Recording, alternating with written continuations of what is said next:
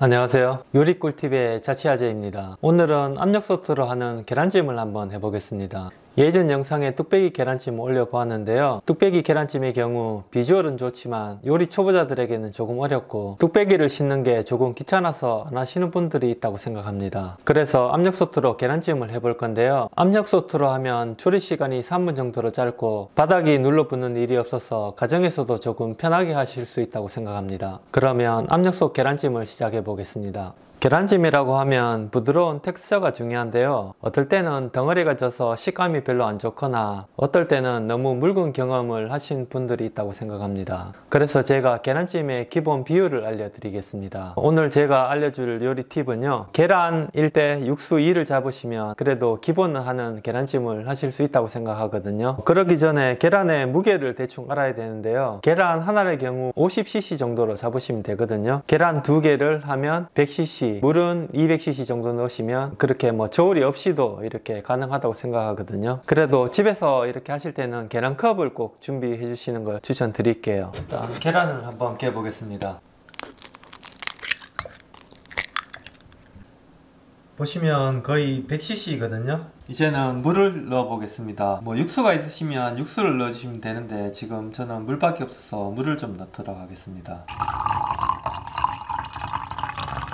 그리고 간은 소금을 조금 넣도록 하겠습니다. 뭐 조미료가 있으면 조미료를 조금 넣어주도록 하겠습니다. 해 한번 걸러주도록 하겠습니다. 골고루 한번. 어, 대충 이렇게 다 걸렀거든요. 이때 간을 잠깐 보겠습니다. 소금을 조금 더 넣겠습니다. 예. 파선거나 당근을 조금 올려주도록 하겠습니다. 이렇게 하겠습니다. 압력솥에 물을 좀 넣도록 하겠습니다.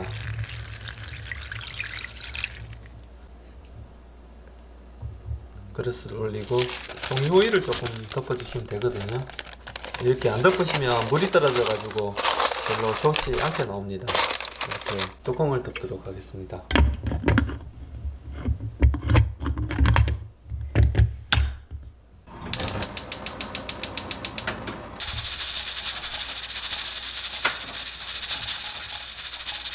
불을 낮추고 3분으로 이렇게 스타트를 하도록 하겠습니다.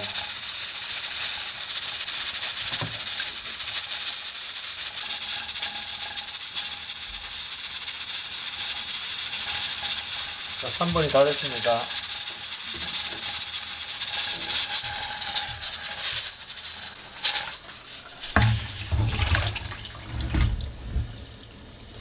오버쿠킹을 방지하기 위해서 이렇게 급냉을 하도록 하겠습니다. 자, 압을 빼고 한번 열어보도록 하겠습니다.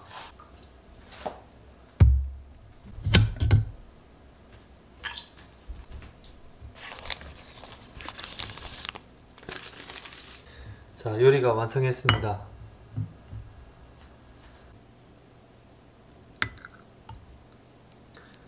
예, 계란이 아주 부드럽게 됐거든요.